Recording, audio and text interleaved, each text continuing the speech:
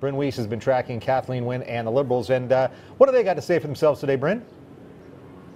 Well, uh, David, the day started off for Kathleen Wynne uh, meeting with Paul Martin, but I actually want to get back to uh, the story that Lisa was just touching on there, the NDP platform, because of course today really does mark a major milestone in the campaign. The NDP has now put out their platform. For several weeks, they've taken heavy fire from both the Progressive Conservatives and the Liberals uh, that they weren't focused. They didn't have a plan, and I think over the past few weeks, we've actually seen the NDP get a little sidelined in this campaign. So now that we have their platform, we're going to see if this can actually shake shake things up and put the NDP back into what was once, of course, a three way race. Andrea Horwath made no mystery today, David, that she is really trying to appeal to voters' pocketbooks. She's really been focusing in on the pocketbook issues of this election, like hydro rates and also taxes. Let's watch.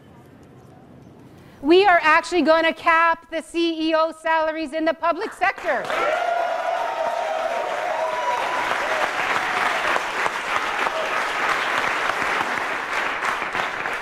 We have seen promise after promise made to get those skyrocketing salaries under control in Ontario, and have we seen it yet?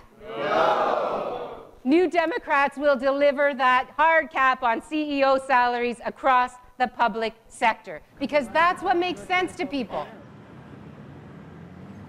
And David, when you actually look at the platform, there's a couple ideas in here that are new. There's a couple that are recycled from the Liberals. Uh, and also, there's some ideas that we've heard from Andrea Horwath sort of trickle out in dribs and drabs over the past few weeks. Notably, they say they're going to balance the provincial budget in the year 2017 2018. That's the same as the Liberals are promising. Uh, the NDP are looking at about $1.8 billion in new program spending this year, and that'll ramp up to about 2.8 billion in new program spending at the end of the four year term. Uh, and of course, David, how do you pay for all of this new program spending? Well, the NDP says they're going to raise corporate taxes uh, by one percentage point from 11.5% up to 12.5%, uh, but they are going to cut small business tax rate down to 3%. And they've also brought in a series of uh, tax credits uh, for caregivers as well as job creators and even companies if they're buying manufacturing equipment. Other goodies in the budget include a lot of money for transit. They're not only echoing the Liberals' 29 billion 10-year plan for transit, but they're also setting aside 250 million million over the next four years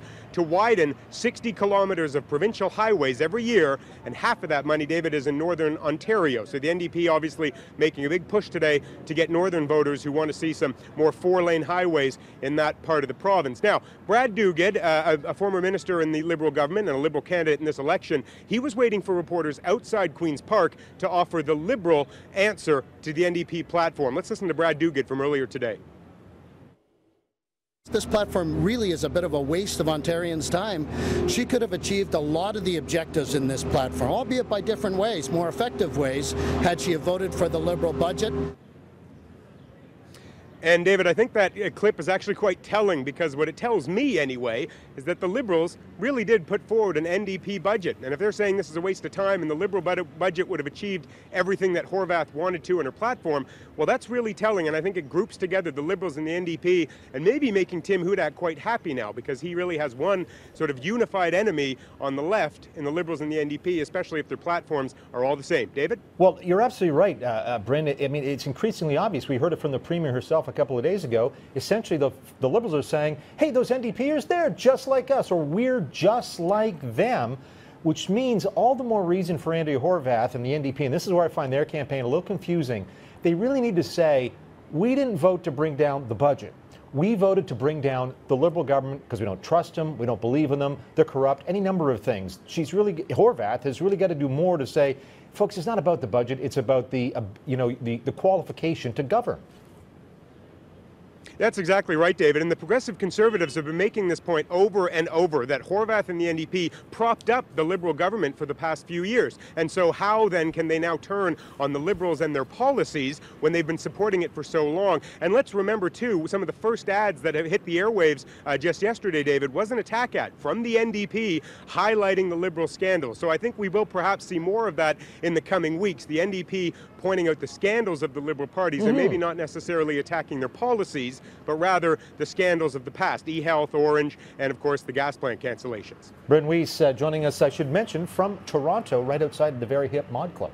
All right, Bryn, you'll be back a little later on in the show. Thank you so much.